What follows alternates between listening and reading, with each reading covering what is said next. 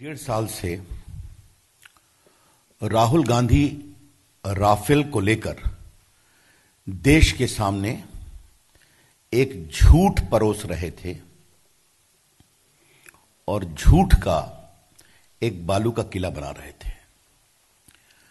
For the last one and half years Rahul Gandhi was erecting a web of lies in the country on Rafale and was building, the, was seeking to build castle of sand. इसमें उन्होंने भारत के ईमानदार लोकप्रिय प्रधानमंत्री मोदी जी जिनकी ईमानदारी जग ज़ाहिर है उन पर ही बहुत ही शर्मनाक टिप्पणियाँ की थी आज सुप्रीम कोर्ट के निर्णय ने राहुल गांधी के झूठ को बेनकाब कर दिया है। The judgement of the Supreme Court has expose the lies of Mr Rahul Gandhi हम उम्मीद करते थे कि इस निर्णय को राहुल गांधी और कांग्रेस पार्टी विनम्रता से स्वीकार करेगी। लेकिन राहुल गांधी की समस्या है उनका अहंकार। राहुल गांधी की समस्या है उनका विरासत के प्रति अपना दंभ और संस्थाओं का सम्मान नहीं करना। ईवीएम के नतीजे उनके लायक नहीं होंगे तो ईवीएम खराब है। चुनाव आयोग ने अगर उनकी पार्टी की बात नहीं मानी तो चुनाव आयोग पर भी टिप्पणी करते रहे वो। लेकिन आज वो गैर जिम्मेवारना आचरण की हद पार गए कर गए हैं, जब उन्होंने सुप्रीम कोर्ट पर भी टिप्पणी की है। Today Rahul Gandhi has crossed all limits of propriety decency and probity in the public life of the country by almost condemning the Honorable Supreme Court of India. क्या मतलब है इसका क्या राहुल गांधी सुप्रीम कोर्ट से ऊपर हैं आज हम यह सवाल उठाना चाहते हैं क्या कांग्रेस पार्टी सुप्रीम कोर्ट से ऊपर है यह कौन सी भाषा बोली गई? सुप्रीम कोर्ट का आज फैसला आया है और किस तरह के गाली का प्रयोग किया गया हमारे प्रधानमंत्री के लिए? भाजपा का एक स्तर होता है और जिस भाषा का प्रयोग राहुल गांधी ने हमारे प्रधानमंत्री जी के लिए किया है, वो अस्तरहीन है। वो चौराहे की भी भाषा नहीं होती है। हम उसकी भर्सना करते हैं। लेकिन शायद जो खुद अपनी माता जी के साथ एक बड़े घपले में ट्रायल फेस कर रहे हैं, वो भी पब्लिक फंड और पब्लिक लैंड को लेकर, जिनका क्वेश्चन का एप्लीकेशन कोर्ट ने रिजेक्ट कर दिया है। उनसे हम और कोई उम्मीद कर नहीं सकते हैं। यह देश की राजनीति की एक नई गिरावट है। It is a new low in the polity of the country आज राहुल गांधी ने जब कांग्रेस पार्टी के केंद्रीय कार्यालय की प्रेस से जिस शब्द, जिस तरह की भाषा और जिस तरह का बॉडी लैंग्वेज का परिचय दिया है, क्या कांग्रेस के राष्ट्रीय अध्यक्ष को शोभा देता है क्या? क्या कोई इलेक्शन रैली में भाषण दे रहे थे क्या? ये हम जानना चाहते हैं। एक बात हमें और कहनी है। जो जो बात राहुल गांधी ने कही, वो सारी बात कोर्ट में उनके मित्रों ने जो पीआईएल कर रहे थे, वो सारी बातें उन्होंने बहस की। और कोर्ट ने हर मानक पर उनके सारे तर्कों को गलत पाया। तर्क नंबर एक, देश की सुरक्षा के लिए भारत की वायुसेना को विमान ज़रूरी है। तर्क नंबर दो, इस पूरे निर्णय की प्रक्रिया को कोर्ट ने एग्जामिन किया। और कोर्ट ने यह भी कहा कि पहले हम चाहते थे खुद एग्जामिन करेंगे, लेकिन प्राइसिंग छोड़कर उन्होंने कहा, बाकी सारी बातें याचिकाकर्ताओं को भी दी जाए। और कोर्ट ने कहा कि प्राइसिंग सेंसिटिव होती है, क्योंकि आपको बताना पड़ता है इसमें क्या क्या चीज़ें लगी हुई हैं। तो उन्होंने कहा कि वो हम खुद देखेंगे। पूरे ऑफसेट क्लॉज को भी उन्होंने देखा है। कोर्ट के निर्णय से तीन बातें साफ़ आती हैं। कांग्रेस पार्टी की सरकार यूपीए में 2006 से लेकर 2012 तक मामले को सिर्फ़ लटकाया गया। कोर्ट के निर्णय से यह भी साफ़ होता है, जैसा वित्त मंत्री जी ने आज कहा, कि चौहत्तर मीटिंग हुई, क्योंकि भारत की वायुसेना को इसकी ज़रूरत थी।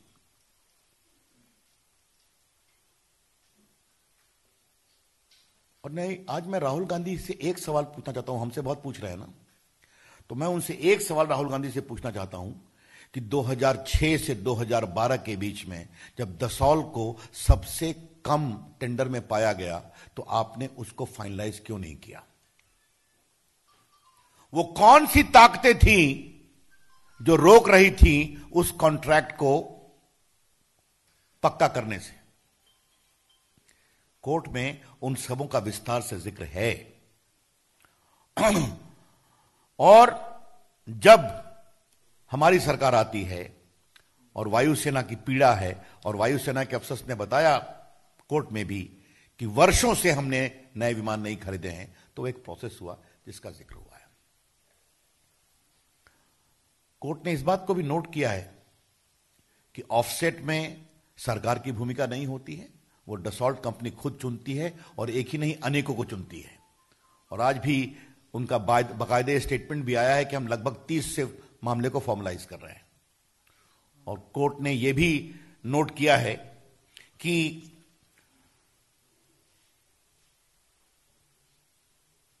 रिलायंस इंडस्ट्री के साथ फरवरी 2012 में ही बातचीत शुरू हो गई और एग्रीमेंट हुआ था। तो बाद में दोनों भाइयों में कुछ डिफरेंसेस हुए तो एक बात का विषय है।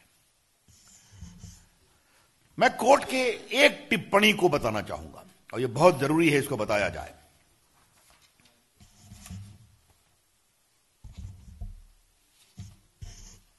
देखिए, राहुल गांधी मोदी जी से कहते हैं कि वो सवाल नहीं लेते। आज राहुल गांधी ने कोई सवाल तो लिया नहीं। राहुल गांधी क्या इस बात को समझते हैं कि 126 विमान खरीदना और 36 विमान खरीदना में अंतर है? जो उन्होंने बात की थी कि 126 विमान हिंदुस्तान में आकर बनेगा, जो कभी फॉर्मल नहीं हुआ। यहाँ पर 36 विमान बना बनाया आएगा फ्रांस से, हिंदुस्तान के एयरफोर्स के लिए।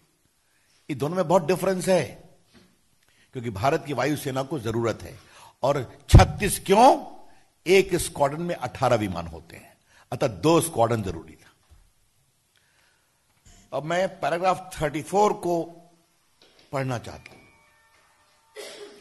In view of our finding on all the three aspects and having heard the matter in detail we find no reason for any intervention by this court on the sensitive issue of purchase of 36 defence aircraft by the Indian government 36 अब देखिए perception of individuals cannot be the basis of a fishing and roving inquiry by this court specially in such matters तो लोगों की धारणा क्या है?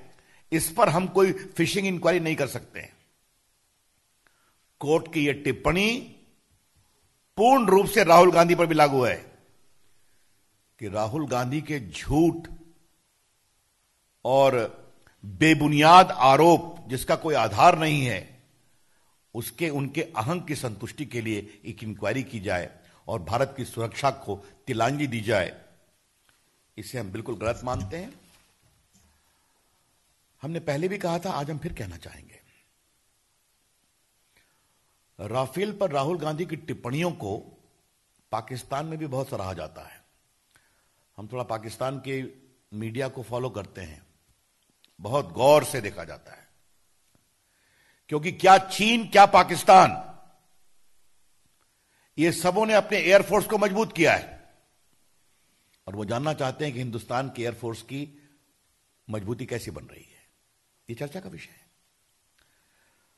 आज दिन में माननीय वित्त मंत्री जी ने भी टिप्पणी की थी कि कई बार यह पूरी बहस प्रायोजित भी डेवलप की गई है। संभवतः जिनके अपने कुछ दूसरे इंटरेस्ट भी थे।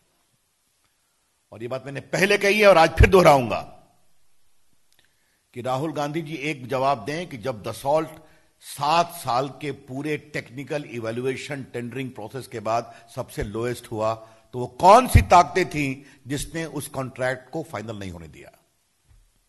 तो कहीं ना कहीं तो जो कांग्रेस पार्टी का पूरा आचरण रहा है डिफेंस परचेज में चाहे वो क्रिश्चियन मिशेल हो, चाहे वो कुतरोकी हो, ये पूरा अतीत हम जानते हैं। तो हम राहुल गांधी के पूरे वक्तव्य की भयंकर भर्सना करते हैं। ये गैर जिम्मेदार ना है, ये शर्मनाक है, और ये भारत की राजनीति में एक न्यू लॉ है। बस मित्रों, मुझे अपनी ओर से इतना ही कहना था, क्योंकि उनकी सच्चाई सामने आ गई है। इसलिए राहुल गांधी बहुत ही बौखला गए हैं। लेकिन लोकतंत्र चलता है ईमानदारी से और लोकलाज से। अब ऐसा है कि वो टेक्निकलिटी में जा रहे हैं, मैं सब्सटेंस में जा रहा हूँ। It is a long judgment of more than how many paragraphs मैं जरा बताना चाहता हूँ। Thirty four paragraphs were on all the three issues the country needs plane where proper procedure was followed where the decision making process was fair सब पर उन्होंने गलत पाया है। ऑफसेट क्लॉज पर। तो ये अब राजनीति के लिए वो कर रहे हैं तो मुझे इस पर कुछ नहीं कहना। तो नहीं नहीं देखिए, राहुल गांधी के अस्तर पर मुझे नहीं जाना है। क्षमा करेंगे आप। राहुल गांधी जिस तरह के भाषा का प्रयोग कर सकते हैं, वो भाषा रविशंकर प्रसाद या भाजपा का कोई नहीं करेगा। एक बात। आपको मालूम है कि इसमें प्रक्रिया होती है, ऐसी कोई बात होती है तो सीएजी से उसको शेयर करते हैं। अब वो प्रक्रिया की बात वहाँ कही गई, लेकिन वो तो एक लाइन है। बड़ी बात मुझे यह बताइए जजमेंट है चौंतीस पैराग्राफ का। इस पर कुछ नहीं कहना उनको। इसलिए मैंने उसके कंक्लूजन को पढ़ा है। इसलिए इस तरह के बेबुनियाद आरोपों का मुझे कोई जवाब नहीं देना है। अब फिर कह रहे हैं, अगर राहुल गांधी आज अपनी पार्टी के राष्ट्रीय अध्यक्ष हैं। मैंने पहले भी कहा था, इस पद पर उनके पिताजी, उनकी दादी जी नेहरू जी, सरदार पटेल, राजेंद्र बाबू, मौलाना जैसे लोग बैठे हैं। एक बार उनकी टिप्पणियों को देख लें और आज जिस तरह की भाषा का प्रयोग कर रहे हैं, उस पद का कितना बड़ा वो अवमूल्यन कर रहे हैं, लोगों को सामने आ जाएगा। Okay the PSC chairman gets the report after the CAG final the report you know the procedure very well now these are matters exam just a minute please these are matters of examination but that is only one line of the procedure part of it, not the substantive part of it. ये procedure को उन्होंने record किया जो होता है। और वो डूबते को तिनके के सहारा की तरह इसको पकड़े हुए हैं। मोटी बात यह है कि 34 पैराग्राफ में जो जो तर्क वो दे रहे हैं, सबको इसमें रिजेक्ट किया गया है। प्राइसिंग पर, देश की सुरक्षा पर क्वालिटी ऑफ़ विमान पर, निर्णय की प्रक्रिया पर। इस पर कुछ नहीं बोल रहे अब देखिए ऐसी तैसी राहुल गांधी की भाषा है। और उसे आप ना प्रयोग करेंगे तो अच्छा लगेगा। पहली बात तो मैं ये कहूँगा मैंने अपने प्रेस के आरंभ में शुरू करके कहा कि चुनाव आयोग पर किसने टिप्पणी की? ईवीएम पर किसने टिप्पणी की? आप मुझे बताइए। हाँ? और और तो और छोड़िए। सुप्रीम कोर्ट के चीफ जस्टिस पर उनके पार्टी के नेताओं ने इंपीचमेंट प्रोसीडिंग शुरू किया। आज तक क्या कांग्रेस पार्टी ने अपने को उससे अलग किया है क्या? तो चाहे वो सुप्रीम कोर्ट के चीफ जस्टिस हो, चाहे वो चुनाव आयोग हो चाहे वो आपके ईवीएम मशीन हो या बाकी संस्थाएँ हो। याद करिए, आज सीएजी पर कांग्रेस की चर्चा देख करके मुझे टू की याद आ रही है कि सीएजी के बारे में क्या क्या नहीं कहा था कांग्रेस पार्टी ने। याद करिए आप, विपक्ष के एजेंट बताया गया था सीएजी को। इसे कांग्रेस पार्टी का यह स्तर है।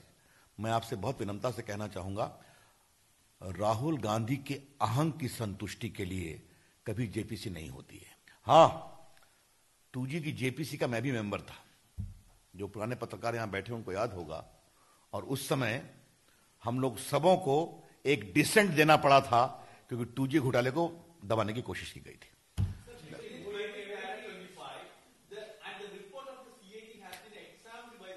I think I have already said it very clearly हाँ। अब अब रा, रा, राहुल गांधी अगर अपने झूठ का पुलिंदा बताएँगे तो मुझे इस पर कुछ नहीं कहना है। मेरे मेरे ख्याल में विस्तार से पूरी बहस खुलकर हुई है। पूरी प्रक्रिया को सील बंद करके दिया गया कोर्ट में। प्राइसिंग को भी बताया गया सेंसिटिव रूप से और कोर्ट ने जो जो बातें कही पिटिशनर के वकील को बताने के लिए, वो भी बताया गया। राहुल राहुल गांधी को आप प्रामाणिकता की प्रतिमूर्ति माने, मैं नहीं मानता क्योंकि पूरा राफेल का किला उन्होंने बालू पर बनाया और झूठ फैलाकर बनाया। धन्यवाद।